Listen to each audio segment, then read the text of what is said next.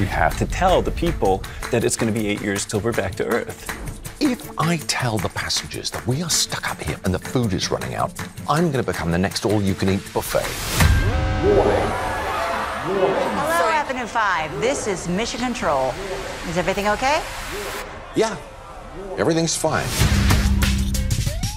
How can so much light feel so dark? I agree. My TV show. Why does he agree with everything that's said to him? You hate agreeing. Exactly. Your sister died in space. I can't look up at the sky because it just reminds me of her, so I can only look forward or down now.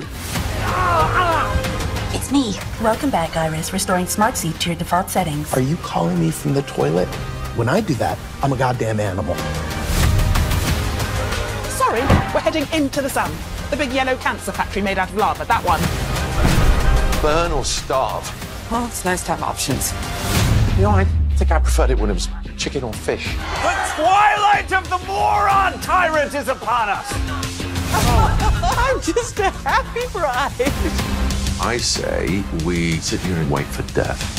Pray for death.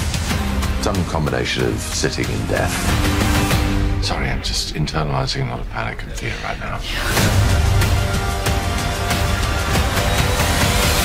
But now I've done that, and I'm back in the room.